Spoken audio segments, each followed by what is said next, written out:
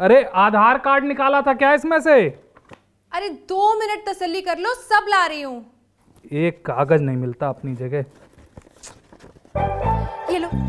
दो घंटे पहले पहुँचना है एयरपोर्ट। हाँ तो सब कुछ तो तैयार है। चलो निकलते हैं। निकलते हैं? हाँ हाँ और क्या? तुम कहाँ जाओगी? जहाँ तुम जाओगे वहाँ मैं जाऊँगी। एक आदमी की परमिशन है बस। देखो ज़्यादा पागल बनाने की ज़रूरत नहीं है। लेटर मैंने भी पढ़ा है और उसमें साफ़ साफ़ लिखा है कि शादीशुदा अपना जोड़ा ले जा सकते हैं। हाँ लेकिन मैं लेकर नहीं जाऊँगा तुम्हें। क्यों? तुम्हें क्या लगता है मैं उड़ते जहाज़ से कूद जाऊँगी क्या? अरे बकवास मत करो। बकवास? बकवास मैं कर रही हूँ। अपने खर्चे पे तो कहीं ले जाने से रहे। अब सरकारी खर्चे पे तो लेकर चलो। उप मुख्यमंत्री आवास जाना है तुम्हारे मायके नहीं जाना। हाँ हाँ पता है कहाँ जाना है। और तुम एक बात ध्यान से सुन लो। मेरे मायके वालों की तुलना ना हर जगह से मत किया करो। करना कौन चाहता है लेकिन तुम अपना मायका याद दिलाए बिना कहाँ चैन लेती हो? मुझसे फालतू बात बहुत भाभी जी वो दालचीनी खत्म। हाँ, कहीं जाने की तैयारी हो रही है? बुरा मत मानना मालती लेकिन तुम ना किसी बिल्ली से कम नहीं हो। जब जब किसी शुभ काम के लिए निकले तभी रास्ता काटती हो। अरे घर आए मेहमान से कोई ऐसे बात करता है? छोड़िए भाई साहब मेहमान कह के अब और बेइज्जती ना करे। पहले ही भाभी ने बहुत कर दी है। लो अब दिल पे लग गई तुम्हारे मालती। यही तो दिक्कत है आज के जमाने की। कुछ भी समझाने निकलो तो समझना ही नहीं चाहते। तो वही बात तो मैं तुम्हें समझाना चाह रहा हूँ कि मुँह बंद करके आराम से घर में बैठो। अच्छा इसका मतलब सच में कहीं जाने की तैयारी है? हाँ उप मुख्यमंत्री को विभाग की तरफ़ से आम देने जा रहे हैं ये। साथ ले जाने को बोला तो भड़कने लगे। पर ये काम तो डाकिए का नहीं होता। मोहल्ले वाले तुम्हें ऐसे ही मंदबुद्धि नहीं कहते मालती। क्यों? मैंने क्या किया? अरे तुम मेरी तुलना एक डाकिए से कर रही हो? मैं एक ग्राम विकास अधिकारी हूँ पचपन हज़ार कमाता हूँ टाटा सुमो से चलता हूँ। दफ्तर में लोग थर थर कांपते हैं मुझसे। हाँ हाँ अब तो मंगल ग्रह पे भी सबको पता चल गया कि तुम एक ग्राम विकास अधिकारी हो। और वैसे भी मोहल्ले वाले तो मुझे भी नक्चड़ी कहते हैं। तो मालती क्या मैं नक्चड़ी हो गई? बता बता मैं नक्चड़ी हो गई? बिल्कुल नहीं भाभी आप तो बस थोड़ी सी घमंडी हो। अरे ये पंचायत बंद करो और किचन में जाकर मेरे लिए कुछ खाने पीने का पैक कर दो। हाँ हाँ भाभी कर दो। सुना है जहाज़ का खाना बड़ा महँगा होता है। और भाई साहब तो वैसे भी बड़े कंजूस हैं।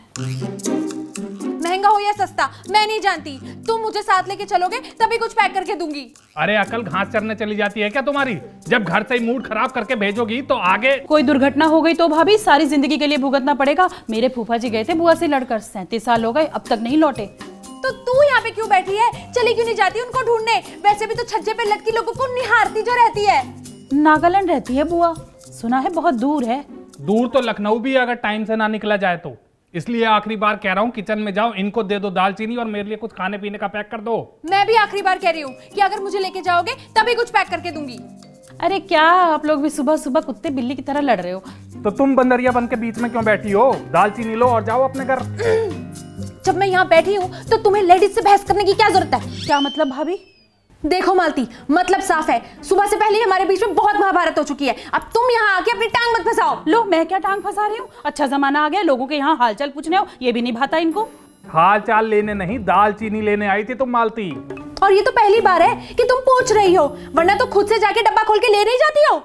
पहले की बात और थी भाभी आज जो आपने भाई साहब के सामने मुझे खरी खोटी सुनाई है ना उसके बाद तो मैं भूल कर भी आपके यहाँ सामान लेने नहीं आऊँगी। अरे तुम मत आना। सुना किसको रही है? वैसे भी तेरे ना आने से हम दोनों की सेहत में फ़र्क नहीं पड़ रहा। क्यों जी? आज मैं एयरपोर्ट जा पाऊँगा या नहीं साफ़ साफ़ बता दो तुम। अरे आप कौन से कम हैं भाई साहब? क्यों औरतों के बीच में बैठे बातें सुन रहे हैं? निकलना काम से निकलिए। अरे ऐसे कैसे निकली? और तुम होती कौन हो मेरे पति को घर से बाहर निकालने वाली? सुबह पाँच बजे से इनके पीछे पड़ी हुई हूँ मुझे ले जाने के लिए। और तुम कह दो पूरे मोहल्ले में कि मैं और मेरा पति उप मुख्यमंत्री को आम देने जा रहे हैं वो भी हवाई जहाज़ से। हम्म, हवाई जहाज़ से जाओ चाहे रॉकेट से। मैं तो फिर भी यही कहूँगी कि ये काम तो डाकिए का है। हाँ तो तुम्हारे हीरा लाल कौन से ज़िले के सीएमओ लग गए?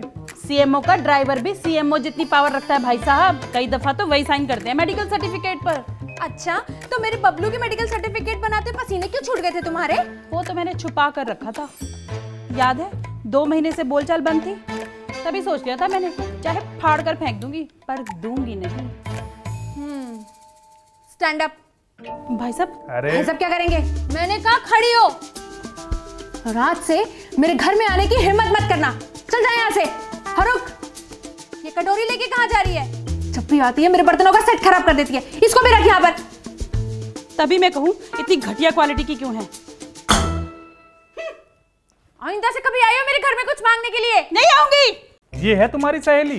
एक ग्राम विकास अधिकारी को डाकिया बोल के चली गई। तुम तो रहने ही दो।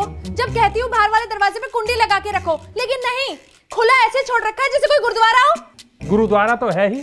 लोग कटोरी गिलास डब्बे बर्तन सब खाली लेकर आते हैं और भर के लेके चले जाते हैं। देखो, मुझसे दोहरी बातें मत किया करो। पहले कहते हो, दान कर दान कर दान कर। अब जब दान कर रही हो तो कह रहे बांट क्यों रही है? अरे तुम चाहते क्या हो? मैं ये चाहता हूँ कि तुम अपना मुँह बंद कर लो और मुझे जाने दो।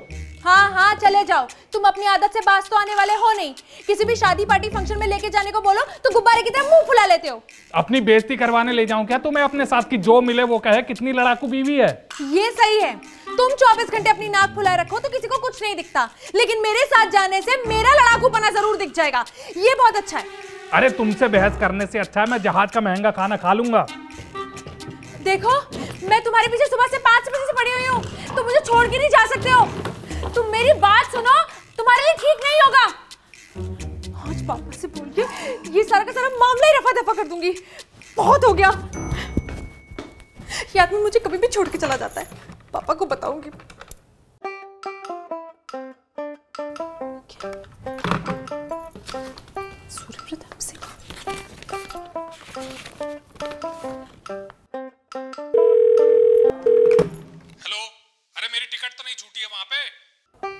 तो है पर दूँगी मैं एक शर्त पर। हाँ हाँ आ जाओ तुम। बेताल बन के सवार रहोगी मेरे सर पे। जब तक जीऊँगा तब तक झेलना पड़ेगा तुम्हें। वो तो है। ठीक है।